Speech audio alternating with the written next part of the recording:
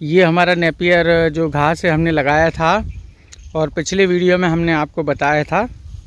तो उसका ये परिणाम है, ये लगभग आप देख सकते हैं कि चार से पाँच फिट का ये हो गया है। ये देख सकते हैं आप।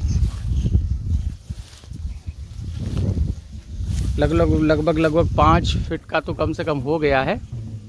आप देख सकते हैं। तो इसी प्रकार अब इसकी हम कटाई करना शुरू करेंगे। और इसको लगातार जब काटते जाएँगे तो समय अंतराल से ये फिर बढ़ता है और फिर हमारे उपयोग में आता है। ये सबसे अच्छा हरा घास माना जाता है पशुपालन में। तो दोस्तों, आप भी इस नेपियर घास का उपयोग कर सकते हैं।